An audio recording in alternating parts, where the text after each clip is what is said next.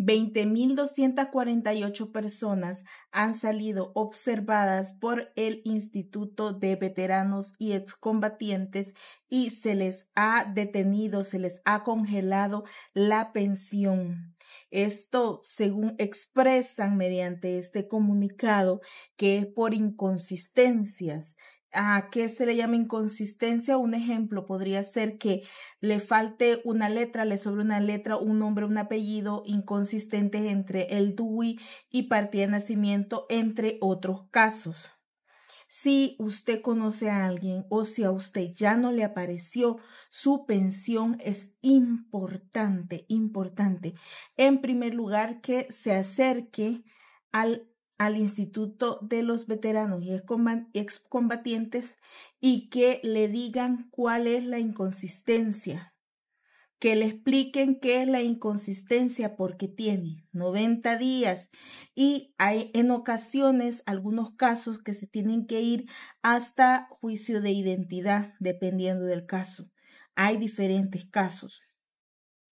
Si este, las personas, en este caso, no tienen un recurso como para pagar un abogado, tienen que acercarse a la Procuraduría, porque ahí les van a ayudar si es un caso de, de un juicio de identidad o un caso donde se necesite un abogado.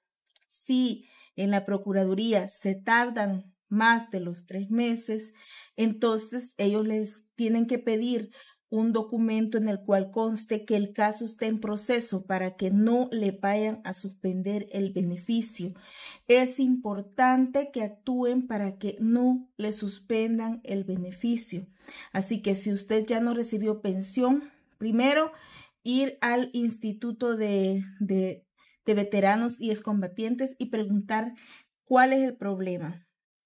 Cuando ya tengan eso, entonces ir a la Procuraduría a veces yo eh, me, escribió alguien que dice que solo fue a sacar una partida, pero a veces las inconsistencias son más grandes que se tiene que ir a juicio de, de identidad. Son tres meses lo que tienen para subsanar estas observaciones.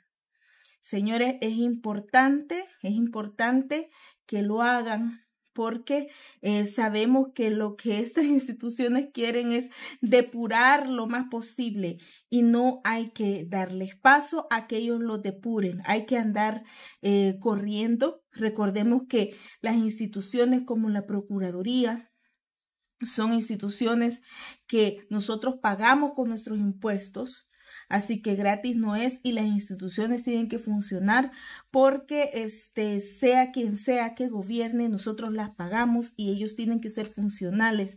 Aparte de eso, si el problema no se ha subsanado a los tres meses, tienen que pedir el papel, eh, un comprobante de que aún está en proceso.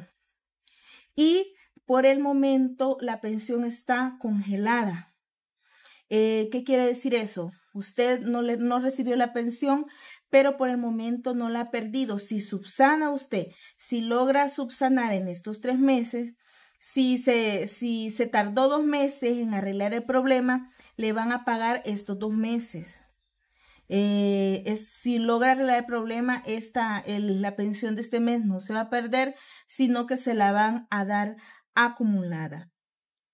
Entonces, es importante eh, que todas las personas que han salido en este caso, que vayan a preguntar cuál fue su problema y que también este, traten de subsanarlo lo más pronto posible y presentarlos. No hay que darles motivo para que los depuren, hay que dar la lucha, hay que dar la lucha, pues si ellos eso es lo que están tratando, pues entonces no, no, no nos dejemos, señores.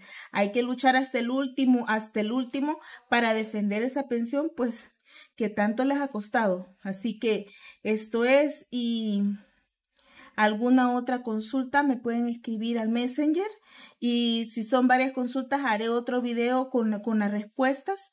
Esto es lo que tengo ahorita y lo tengo porque he preguntado y he hablado con las personas que están en eso y he hablado con personas que lo llamaron y le dijeron que, que tenían que subsanar, que fueron y que ya les arreglaron el problema. He hablado con varios de ellos, he hablado con, con personas que saben del tema y por eso es que estoy haciendo este video. Así que pongámonos las pilas. Si a usted lo han sacado, no, no, le ha recibido su pensión, hay que ponerse las pilas porque hay 90 días para subsanar eh, cualquier error o cualquier cosa que tenga la partida de nacimiento eh, en confrontación con el DUI, señores.